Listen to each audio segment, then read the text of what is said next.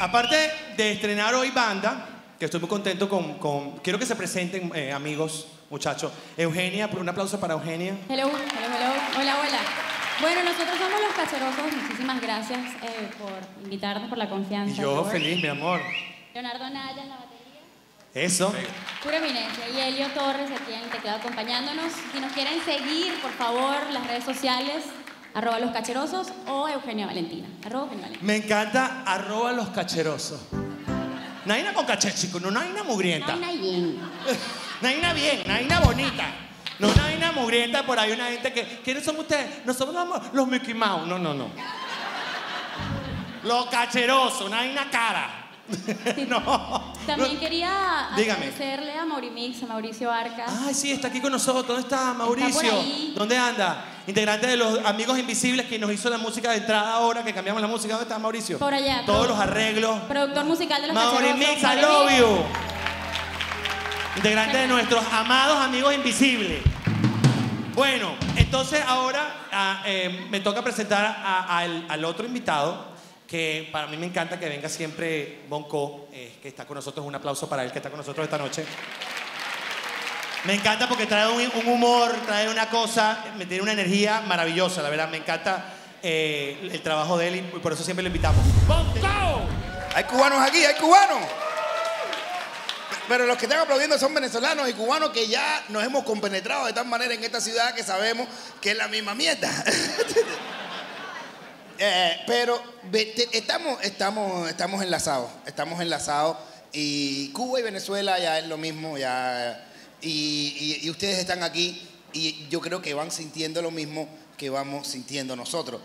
Se te olvida de dónde viniste, aunque tú lo quieras llevar en tu patria, en tu esto, pero te acostumbras rápido a esto, a lo bueno.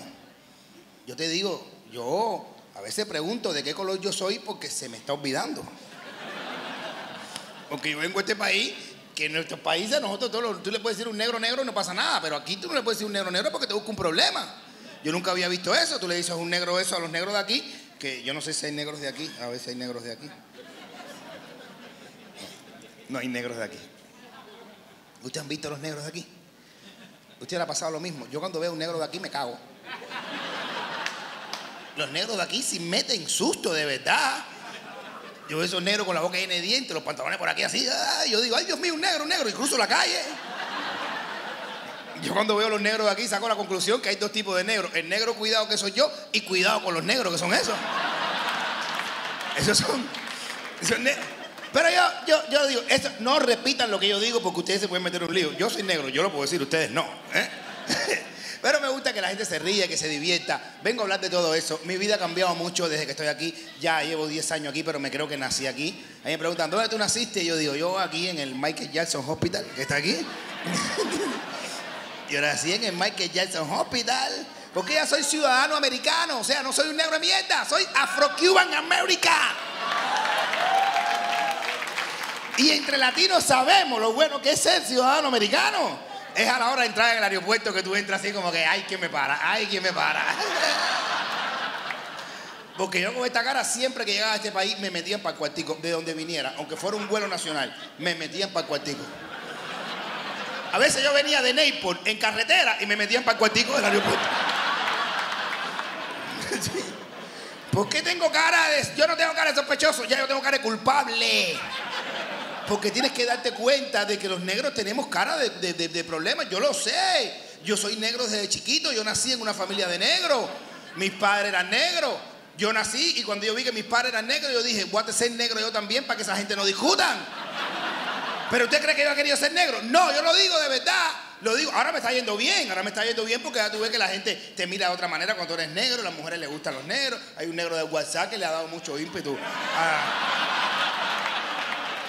A veces yo estoy hablando rápido, yo veo muchas blancas que no me miran a la cara, me miran para abajo, yo digo, mírame de la cara que no tengo letrica, no estoy subtitulado. Pero la gente quiere mirar porque te dan fama, te dan fama. Y los negros, esto de ser negro es una cosa alegre, de verdad yo lo digo con alegría. Eh, mis padres me criaron así, en mi casa había un candado en el refrigerador. Esas son cosas de negro. Ustedes no saben lo que es eso.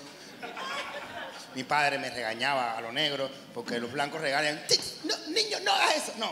Mi papá decía, ¿qué coño te pasa? Y sacaba la pistola. Mi papá no me decía que me iba a dar, mi papá decía que vamos a salir fajados. Así me decía mi papá. Porque mi papá era una, cosa férrea, una educación férrea, que es una educación entre negros. Pero ya estoy en este país. Tengo una esposa linda. No es, no es negra, pero no porque no me gusten. es una cuestión de. Como que, ¿cómo, ¿Cómo explico para que no sea como que no me gusta? Una cuestión de, de- de- de- saber dónde se termina mi cuerpo y empieza el de mi pareja.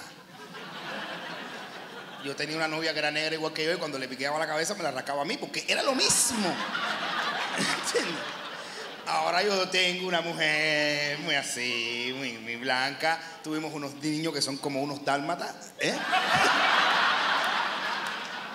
Tengo unos gemelos, tengo unos gemelos. La gente me pregunta, siempre preguntan, "Si- di- di- ¿tus hijos son twin? Yo sí son twin, pero son same, similar. O, ¿qué, coño están hablando? Mis hijos son negros, todos los negros se parecen. y es verdad, mis dos niñitos, tengo dos gemelos, dos twins negritos lindos, lo más bonito, pero son muy inquietos, son muy inquietos, joden mucho. Mis niños joden mucho, joden, no paran de joder, este se mueve para acá, y ya no sé cuál es uno, regaña uno doble porque se chuchu, y pasa un negro para acá, pasa un negrito para acá, sube para acá, ya te regañé a ti, no, tu hermano, y me vuelven locos esos negritos, ustedes no saben lo que es eso, ¿entiendes? La gente, mis negros, mis hijos, yo estoy consciente de lo que estoy criando, estoy criando dos niños que van a hacer candela, ustedes los blancos guardan para, para, para la universidad, yo estoy guardando para fianza.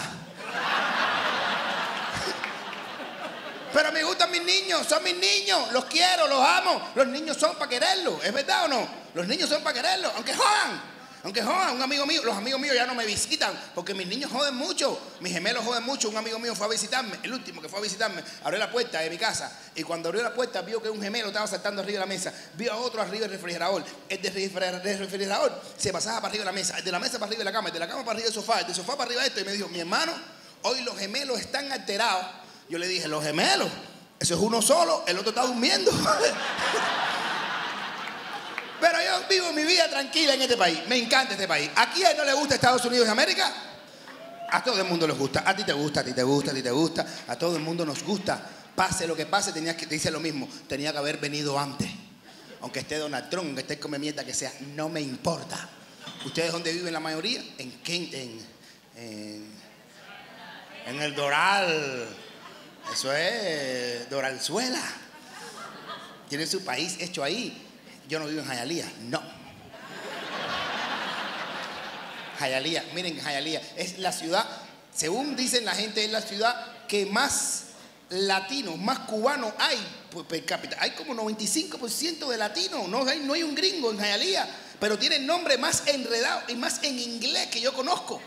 Hay ciudades que se dicen rápido. Yo tengo amigos míos que no saben cómo coño se escribe Jayalía ni cómo se menciona. Y Jayalía. Hay una pila gente que no sabe que cómo es Jayalía.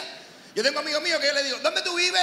Y ellos me dicen, en Jayalía. Y yo le digo, escríbemelo ahí. Y me dicen, no, mentira, en Kendall, en Kendall, en Kendall. Mira que Jayalía es una ciudad que yo pensaba que era en inglés, señora, porque yo tenía un tío mío que vivía en Jayalía y me dice, me escribía las cartas, no, from Jayalía. Yo decía, ay, Dios mío, cuando llega Jayalía, ay, me acostumbraré a la nieve. Porque yo pensaba que eso era Americanolandia pura, Jayalía. Ay, yo me acostumbraré a la nieve. Yo le juro por mi madre que yo me veía esquiando por la 49. Es, un- es una ciudad completamente loca, llena de cubanos, lleno de cosas, para con tostones, olores por todas las calles. No me gusta Jayalía, por eso vivo en Kendall. Yo vivo en Kendall. El único negro que vive en mi barrio soy yo. Yo vivo en Kendall. Salgo a correr, sale la policía, el helifuerte. Pero ya como me he hecho famoso, yo estoy corriendo y viene la policía y me ve y me dice, ay, Bonco, eres tú. Pensábamos que era un negro, disculpa. Yo siempre ando con prenda, porque yo, a mí me dicen el emprendado. No sé si ya han oído una esas de emprendado, una joyería, y anuncio prenda y me pongo todas las prendas y tengo una joyería en Jayalía y esto, porque nos gusta eso.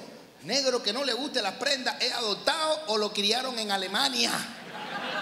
A nosotros los negros nos gustan las prendas, nos, nos, encanta, sí, nos encanta las cadenas. A mí me encanta eso. Yo siempre uso prendas. Y la gente cuando me ve me dice, Bonco, tú no tienes miedo a andar con esas cadenas por ahí. Le digo, caballero, miren alrededor, el único negro que hay aquí soy yo. ¿Cómo ustedes van a pensar que yo tengo miedo? Yo vivo en Kendall. Los blancos de mi barrio cuando me ven con la cadena se asustan porque piensan que yo soy el negro que la estoy quitando y me la voy poniendo. Pero yo vivo contento, caballero. Y vivo contento en este país y respeto mucho a las mujeres. Me encantan las mujeres. He aprendido, me he metido a embrólogo. Embrólogo. Hay que gustarle la mujer. No, no machista, no feminista. Embrólogo es el hombre que reconoce la superioridad de las mujeres. Las mujeres son seres superiores. Las mujeres sí es verdad. El hombre y la mujer siempre tienen una gran pregunta. ¿Cómo entender el hombre a la mujer y cómo la mujer entender al hombre? Eso siempre ha estado entendido. Eso nunca va a lograr. Un hombre puede tener mil mujeres y no va a entender a una. A una mujer le basta conocer a un hombre para decir, todos los hombres son iguales. Pero los hombres, ¿por qué las mujeres no nos van a entender? Porque los hombres somos simples. Un hombre es feliz con un control remoto en la mano. Ya. Aunque sea del aire acondicionado. ¿Te entiendes? El hombre feliz con un control remoto en la mano. Es verdad, las mujeres se levantan y tienden la cama. Nosotros nos levantamos y organizamos los controles. Como una mujer vuelve un hombre loco en la cama? Escóndele el control para que tú veas. Porque nosotros somos sencillos, somos simples. Las mujeres utilizan en el día 20 mil palabras. Un hombre promedio usa 13 mil, 14 mil si está empericado. Pero no, es verdad. Porque el hombre, los hombres no hablan. Los hombres hablamos poco. Poco. Cuando tú quieres comunicarte con un hombre, no, le, no lo compliques diciéndole una pila de cosas porque lo vas a volver loco. Los hombres necesitamos órdenes sencillas, directas.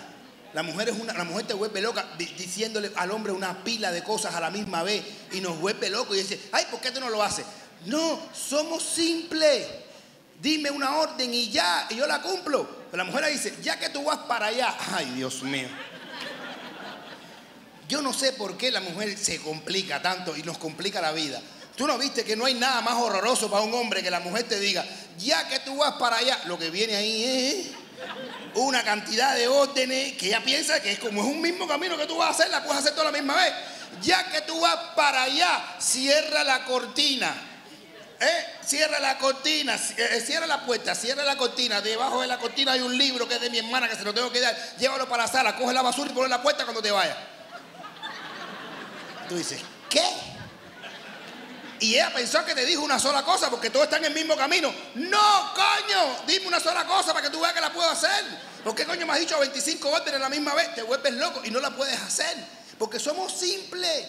Las mujeres son capaces de pensar y hacer 25 mil cosas a la misma vez. Los hombres no. Un hombre no puede hacer tantas cosas a la misma vez. El hombre cuando va en marcha atrás, bajamos la radio. ¿Es o no es? Porque no podemos hacer dos cosas a la misma vez. Es verdad, el hombre va a preguntar una dirección y aunque el carro tenga así, baja la ventanilla. No podemos hacer dos cosas a la misma vez. Si estamos masticando chicle y queremos hacer un globo, tenemos que parar. No, no podemos hacer un globo caminando. No, tenemos que pararnos, hacerme el globo, mira mami, mira, y después seguimos caminando. Porque no podemos hacer una pila de cosas, entonces no nos dé tantas órdenes a la misma vez, porque nos volvemos locos. No, nada más. Una mujer para que el hombre te comunique serio, se los digo a todas las mujeres para que acaben de entender a los hombres. Para tú decirnos algo, para entablar una conversación con los hombres, nos hace falta solamente siete palabras y un verbo. Ya. Siete palabras y un verbo y ya te comunicas con tu hombre. No lo compliques diciéndole, no, que mi hermana que no se quema, que marido que no, no, para decir una sola cosa. No, siete palabras y un verbo. Mi amor, debo dejar el trabajo. ¿Qué respuesta va a tener? ¿Sí o no? Ya. Señoras y señores, por eso mismo la vida es una sola. Hay que reírse de todo. Hay que ser contento. Ríete de todo. Yo me veo en el espejo y digo, soy negro, pero me divierto. La risa me ilumina. Mira. La gente dice, ¿qué dentadura más blanca tiene? No, es el fondo que es oscuro. es un problema de contraste. La vida es positiva. Charles Chaplin dijo, un día sin risa es un día perdido. Por eso siempre sonrían, ríanse de todo. Un hombre que se ríe siempre tiene derecho a todo. La mujer que se ría siempre conquista un hombre. La risa es lo más importante en la vida. Ríanse de todo. Ríanse. Aunque la sonrisa sea triste. Porque más triste que una sonrisa triste es la tristeza de no saber reír. Muchísimas gracias. Chao.